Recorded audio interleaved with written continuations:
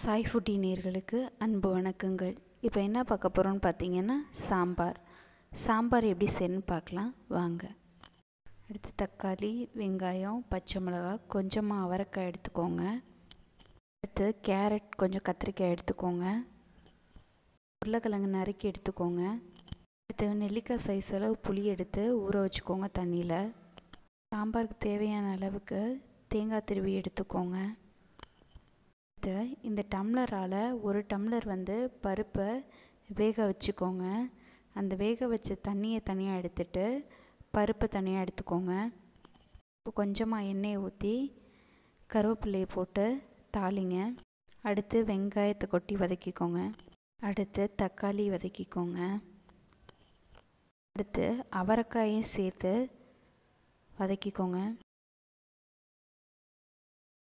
அடுத்து உருளைக்கிழங்கையும் சேர்த்து எல்லாத்தையும் நல்லா வதக்கிக்கோங்க. அடுத்து கத்திரிக்காயும் கேரட்டையும் சேர்த்து வதக்கிக்கோங்க.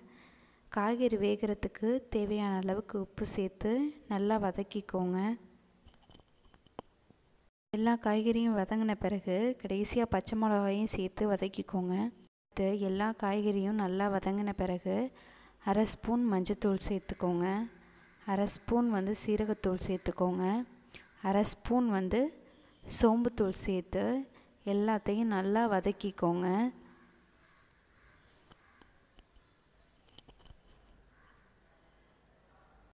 எல்லாம் நல்லா வதங்குற பிறகு தனியாக எடுத்து வச்சுருக்கோம் இல்லையா? பருப்பு தண்ணி. அந்த தண்ணியை ஊற்றி அதிலே வந்து காய்கறி எல்லாமே வேகணும். புளியை கரைச்சி எடுத்துட்டாச்சு. புளியை தனியாக கரைச்சி வச்சுருக்கோம் இல்லையா? அந்த புளி தண்ணியை வந்து துவரம்பருப்பு வேக வச்சுருக்கோம் இல்லையா? அதோடு சேர்ந்து கலந்துருங்க. அடுத்து பருப்பு தண்ணியிலே காய்கறி எல்லாமே நல்லா வந்துடுச்சு.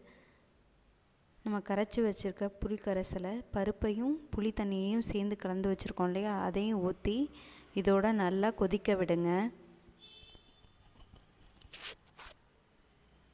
அடுத்து சாம்பார் நல்லா கொதி வந்துடுச்சு கொதி வந்த பிறகு தேங்காய் எடுத்துருந்தோம் இல்லையா? அதை அரைச்சி நீங்கள் என்ன தேங்காய் ஊற்றி திரும்ப நல்லா கொதிக்க விடுங்க. சாம்பார் ரொம்ப டேஸ்ட்டாக இருக்கும். அடுத்து சாம்பாருக்கு தேவையான அளவுக்கு நீங்கள் உப்பு சேர்த்துக்கலாம். அடுத்து கொஞ்சமாக எண்ணெய் ஊற்றி கடுகு கருவேப்பில்லை காஞ்ச மிளகாய் சேர்த்து தாளிச்சுக்கோங்க சாம்பாருக்கு. பார்த்திங்கன்னா சாம்பார் வந்து நல்லா கொதி வந்து ரெடி ஆயிடுச்சு. ரெடியான பிறகு நம்ம வந்து தாளிச்சு வச்சுருக்கோம் இல்லையா?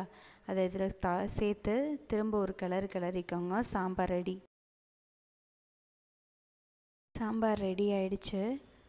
நீங்களும் ட்ரை பண்ணி பாருங்கள் இந்த வீடியோ உங்களுக்கு பிடிச்சிருந்ததுன்னா லைக் பண்ணுங்கள் ஷேர் பண்ணுங்கள் கமெண்ட் பண்ணுங்கள் சப்ஸ்கிரைப் பண்ணுங்கள் நன்றி.